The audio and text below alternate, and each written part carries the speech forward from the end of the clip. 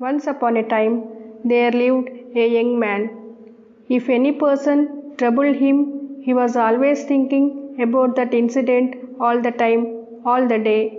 If anybody said something which hurts him, he was always thinking of that and even he wanted to take revenge on that person because of his overthinking habit.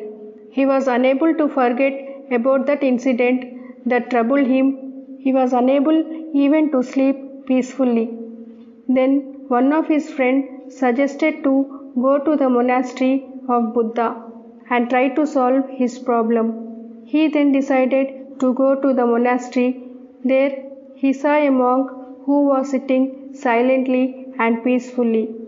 He went to the monk and said everything and asked to cure his mental tension. By hearing this problem, the master went into the monastery and brought a glass of water. The master approached the young man. Then the master asked that what would be the weight of this glass of water. Then the young man said, The weight of the glass of water is very less, and we can hold the glass without any strain. Then the master said, What happens to me if I hold this glass of water for five minutes? Then the young man replied, Nothing will happen to you. Then the master asked the young man, What will happen to me if I hold this glass of water for one hour? Then the man replied, Nothing serious will happen, but your hands will pain very much. It takes time for your hands to get relief from that pain. Then the master said, Okay, what happens if I hold this glass of water for the whole day? Then the young man replied to the master that it becomes a serious problem to your hands and arms. You may feel your hands becoming very painful and you will be unable to hold that glass of water. Then the master asked the young man, Son, then what should I do to get away from my pain? Then the young man said, You must simply keep the glass aside.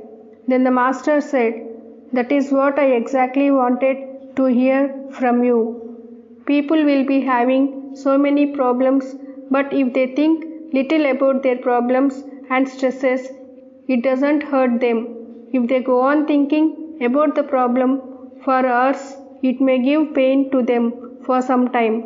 But if they go on thinking and thinking all the day and night, the people go into depression, pain, and sorrow, just like holding the glass of water all the day. Friends, problems and sufferings are common to every man, but if we pay more attention to our problems, it will give more pain to you.